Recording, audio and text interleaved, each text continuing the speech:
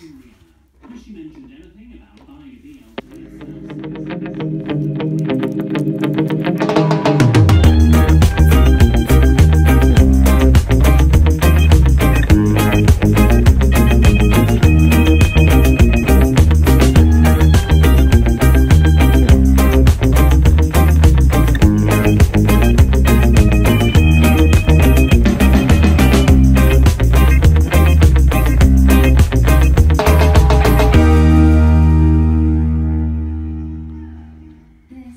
is a moment of silence.